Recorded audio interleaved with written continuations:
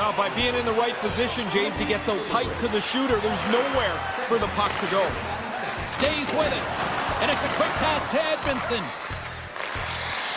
There's a solid collision. Toronto's gained the line and into the zone. And skilled use of the stick to poke the puck away. From one point man to another. Allen's going to hang on to that one for a whistle. Quickly on top of that, James, he needed a cover there. More than half the frame has been played here. The Leafs just recently adding to their lead. They're now up by three. Toronto's won the draw and they'll go to work. Oh, what a stuff with the pad by Allen. Up along the wing. Good stand-up hit. The Canadiens get a hold of the puck along the boards. And he slides it quickly to Barron.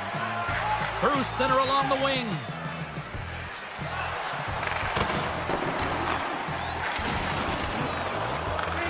Handles the pass. Montreal's got the puck in their own end. Moves it around along the half wall. There's a chance at front! And he denies that great opportunity there.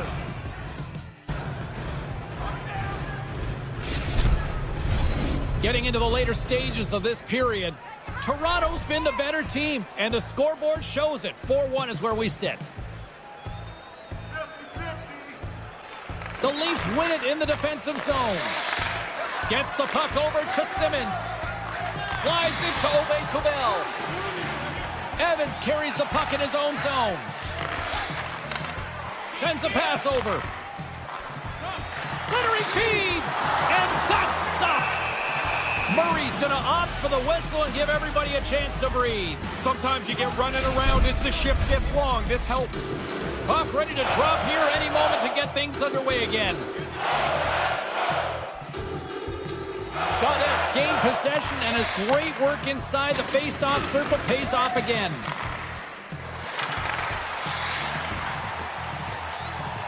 Quick feed to Armia. Oh, what a chance, and it goes sideways. Comes up with the block. Now a quick pass to Savard. Eight seconds. Six seconds remaining.